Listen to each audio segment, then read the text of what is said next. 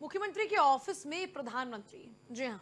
वैसे तो ये सुनने में बड़ा अजीब सा लग रहा है, लेकिन मुख्यमंत्री के ऑफ़िस में पीएम होंगे। कुछ ऐसा ही नज़ारा उत्तर प्रदेश के मुख्यमंत्रियों के तैनात के ऑफ़िस, जिसको लोक भवन के रूप में जाना जाता है। लोक भवन में पूर्व प्रधानमंत्री अटल बिहारी वाजपेयी की प्रतिमा का अनावरण प्रधानमंत्री मोदी का ही द्वारा ही करा जाएगा। दृश्य पहली और आखिरी बार भी हो सकता है। पीएम मोदी किसी मुख्यमंत्री के कार्यालय में जाएँगे, ये बात दिलचस्प और अहम इसलिए हो जाती है क्योंकि पीएम मोदी ने अपने आदर्श अटल बिहारी वाजपेयी की प्रतिमा का अनावरण करने के लिए आज खुद लोक भवन में आने का फैसला किया है और लोक भवन में कर्मचारियों का फ़िलहाल प्रवेश बंद रहेगा। सुरक्षा की दृष्टि से भवन के सभी गेट सीज किए गए हैं।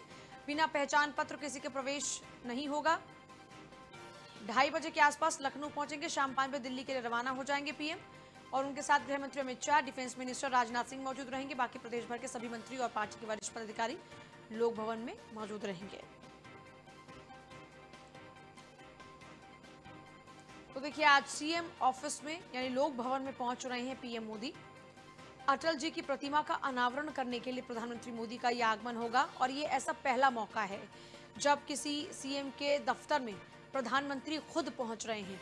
ये पहला ही ऐसा मौका है, शायद ये पहला भी है और आखिरी बार भी होगा।